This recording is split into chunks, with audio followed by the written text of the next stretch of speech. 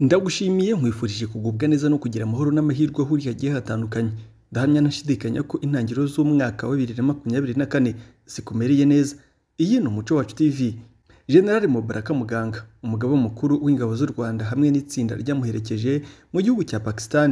Uyu munsi beretswe bimwe mu bikoresho bikomeye cyane birimo ibisasu biremereye byo mu bwoko bwa misiri nk'uko mubibona kuri iyo foto. Uwo ni generali mubaraka muganga ari kumwe n'umugaba mukuru w'ingabo za pakistan. Aho ari kumwereka imbunda zikomeye zo muri icyo gihugu. Aho ndetse bivugwa ko u rwanda rwaba ruri kuzirambagiza kugira ngo rube rwazigura. Mu rwego rwo gukomeza kurushaho gukomeza umutekano w'igihugu cy'u rwanda ndetse n'abanyarwanda muri rusange izi ni imbunda zirasa ibisasu byo mu bwoko bwa misile bikomeye cyane. Bihanura indege kabuhariwe z'intambara ndetse bisenya mu buryo bwihuse. Imbunda zikomeye z'intambara. Aho rwose gushiriza ibifaru bikomeye ari mu isegonda rimwe. Ni amakuru kandi anagaragara ku rubuga rwa minisiteri y'ingabo ya pakistan aho ubona ko generali mubaraka muganga ari kumwe n'itsinda ryamuherekeje banyuzwe n'imikorere y'izi mbunda zihambaye beretswe abanzi b'u rwanda bakaba batangiye gukomeza gushya ubwoba bibaza ukuntu bazabyifatamo u rwanda.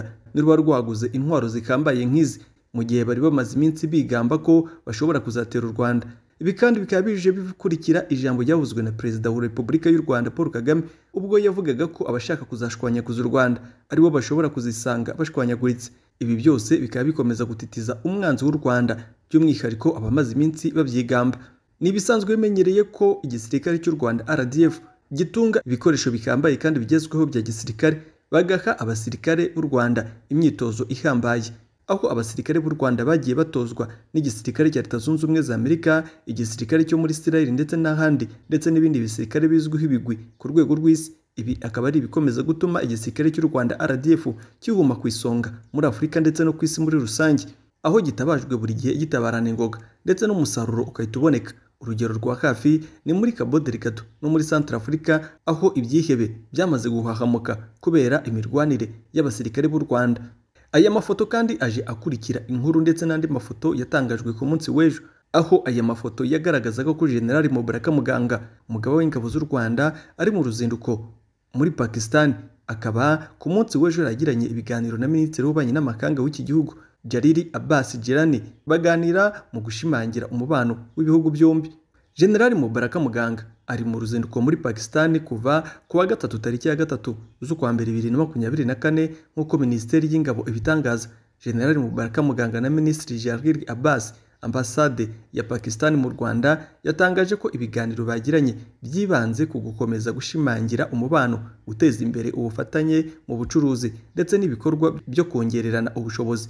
Muri iyo nama kandi hagarutswe ku gushimangira uruhare runini umuryango w'abanyapakistani batuye mu rwanda bagira mu iterambere ryarwo. Hashimiwe kandi ambasade ya pakistani mu rwanda. Yashyize imbaraga mu gutuma uru ruzinduko rw'amateka rubaho kuko urwo kuri urwo rwego rubaye ku nshuro ya kabiri mu mateka y'u rwanda na aziya.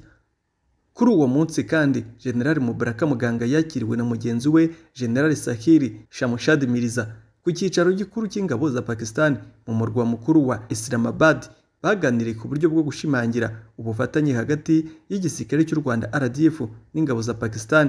Mu kwezi kwa cyenda bibiri na makumyabiri na gatatu minisitiri w'ingabo juvenal marizamunda yakiriye ambasaderi wa pakistan mu rwanda nayem ulayi khan.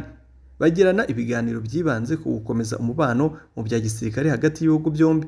Uretse ubufatanye mu bya gisirikare kandi kugeza ubu imibare igaragaza ko umubano w'ibihugu byombi ushingiye ku bucuruzi. Ubarirwa agaciro ka miliyari zirenga mirongo itatu n'enye z'amafaranga y'u rwanda.